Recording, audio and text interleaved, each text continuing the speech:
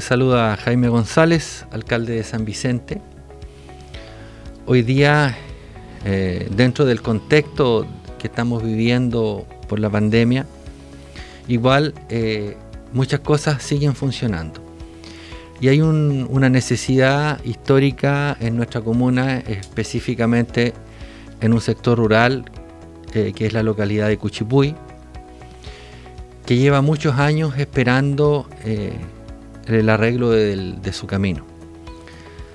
Eh, nosotros como municipio hemos hecho varias, en varias ocasiones la solicitud de, la realización de este proyecto y hoy día tenemos la buena noticia que eh, el proceso de licitación está en su fase de término.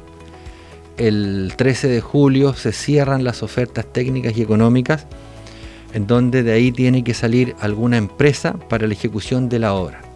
Esto es muy positivo y yo quiero eh, enviar un saludo a la gente de Salvador Cuchipuy, que ha tenido mucha paciencia, pero que los procesos eh, no dependen del municipio, estos procesos dependen de vialidad. Yo como alcalde esperaba que hace mucho tiempo antes esto fuera resuelto. No obstante, igual tengo que agradecer que hoy día ya sea una realidad y que el proceso constructivo del asfalto Cuchipuy, ¿no es cierto?, eh, pueda realizarse dentro del segundo semestre de este año.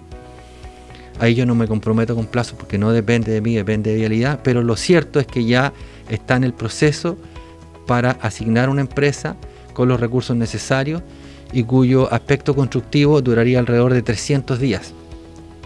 Eh, sin duda va a ser un gran avance para nuestra comuna, como lo fue el camino de Rinconada, por ejemplo, como lo fue lo, de la cuesta de la laguna, que son eh, eh, proyectos que claramente sirven en todo sentido. Así que esa noticia quería transmitir hoy día y les vamos a estar informando de los detalles en los próximos meses.